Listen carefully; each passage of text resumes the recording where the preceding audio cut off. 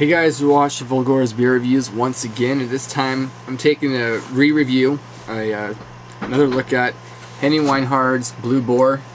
I've reviewed this before, I've had it a couple times, but I don't know how many times I reviewed it. I'm sure I've reviewed it at least once, but that's only once, and I review some at least twice, I don't know, whatever.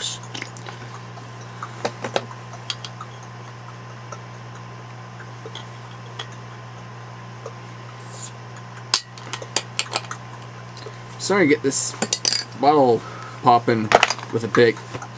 Um, right. Ooh, it's, smell that. That has a funny smell.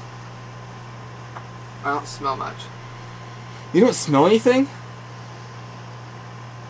Not much. Not really. I thought it smelled kind of like, uh, I don't know. Almost like pee for a slight, for a faint, just a faint bit. But it's just so interesting hot flavor, smell. Anyway.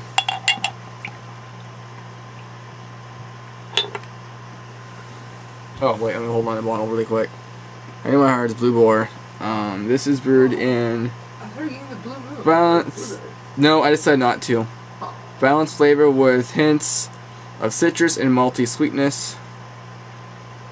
Um, Milwaukee, Blitz, Weinhard, Milwaukee, USA. I'm pretty sure it's brewed in Oregon. Portland? Run, run, run, run, Here. Kind of looks like uh, apple juice. I don't have much say in this. This isn't alright. And it's It's pretty calm. I I think it's a little better than Corona, but it's it's also cheaper in most cases. Yeah, it's it's always cheaper. In fact, Walmart this is probably seven dollars a six pack. Then again, Corona's usually seven dollars six pack at Walmart too, but most places this is cheaper than Corona. It is kind of a flat beer though.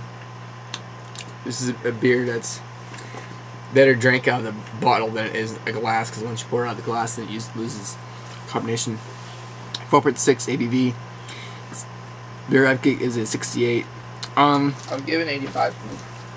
it was, I liked it a lot more. I had tried it before, and I ha- didn't have, haven't tried that many beers yet. trying it again now. I mean, it's it's a decent beer. Is it great, amazing? Nah, I guess not. But you know, if you just want a good, simple beer that you know it's it's good enough to it should be enough to please everybody. It's not too pale or or, or uh, hoppy, bitter. It's not too you know too much of whatever. It might be a little bland to to somebody, but it's just a basic decent beer. I mean, I do admit there is a whole lot of carbonation going on in here.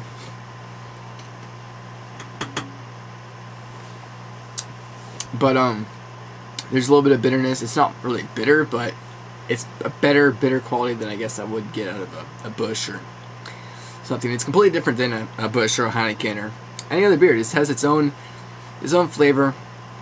Um, yeah, yeah, it is brewed in Oregon. It says right there. Oh, this says it's a cream ale. Uh, so tax to Kusin Takusan 1000 says in terms of cheap ales, this one's not half bad. Maybe it tastes better since I'm drinking it at work.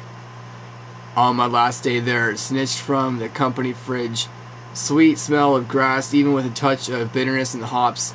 That looks okay. Hard to tell since it's being drunk straight out of the bottle. Tastes is pleasurably better than expected, but that's not saying much since my expectations were low. Grassy, light, sweet malt. Maybe saying I can taste some jasmine is doing it more justice than it deserves. It pairs well with the homemade spicy Thai pork curry I bought, brought for lunch. Light mouth, mouthfeel. I gave it 2.5 out of 5. The average review is 2.84. I'd say it's probably uh, it's probably about a six. I mean, you can definitely do worse. You could definitely do better, but in terms of like if you don't want just a Budweiser or Busch, Miller, Modelo, Corona, you don't want something co- co- copra- co- culprit, culprit. You don't want something culprit. I'm not signing right. Corporate. Yeah. Big company. Corporate. You don't want a big corporate beer. This is a good choice.